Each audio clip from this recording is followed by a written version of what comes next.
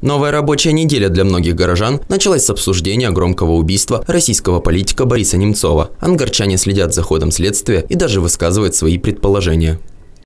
В Москве убили этого депутата и все. Что убили вот э, парня это, Немцова. И там вот почему-то вот тут вот разногласие. Почему-то Зюганов именно, именно обвиняет его, что он способник Соединенных Штатов. Убили этого, Бориса.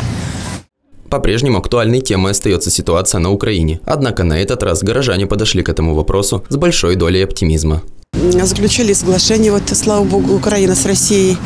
А пока сейчас там налаживаются отношения, это уже радует, да, немножко? Ну, в общем, самое главное, я считаю, сейчас это очень беспокоит всех, наверное, Украина.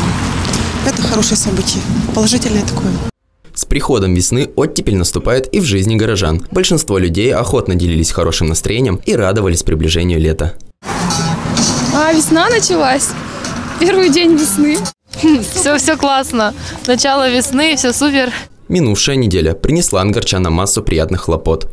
23 февраля у нас очень значимый был день. Что мы делали? Ходили в кино с мужем первый раз за два года. Потому что у нас ребенок был маленький, мы не вырывались. Э, словарный диктант по русскому языку получил 5. Кредит заплатил, событие. День рождения у брата родного. А некоторые горожане, встретив наших корреспондентов, воспользовались случаем и оценили работу телекомпании.